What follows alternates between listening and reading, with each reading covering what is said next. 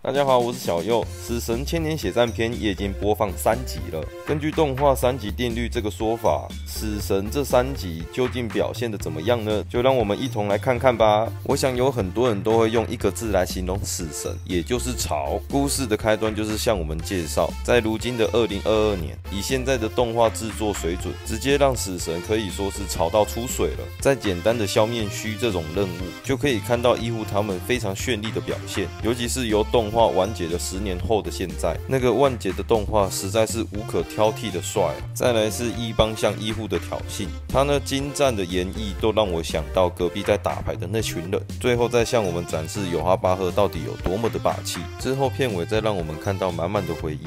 动画第一集就这么结束了，再来是第二集和第三集，就是向我们介绍面具师到底有多么的强。只能说早期的石田羽龙并没有展现出来，而导致让我们感觉面具师好像一个能打的都没有。看到那些早期实力还算不错的角色被面具师他们给彻底给碾压，就有一种说不上来的感觉。毕竟少年漫就是这样，基本上越后面出现的角色就是越强。由于目前动画也只做三集。最多也就是做到有哈巴和向斯文界开战而已，所以并不能断言死神的前三集是不好看的，因为故事才正要开始，所以什么动画三集定律对我来说是不成立的。只能说十年后的现在还可以看到会动的死神已经很不容易了。在这个时代都是满满的重置动画，然而小丑社却是选择了续作动画，主打的客群也就是看过早期死神的动画或是漫画的观众，并非是要推坑别人的作品。虽然我们都知道死神有很多多的缺点，剧情还有很多不符合逻辑的地方，但是对我来说，能看到千年血战的动画，我就已经十分的知足了。想当年早期还是用电视在看死神的时候，都还是在听飞轮海的不死之谜。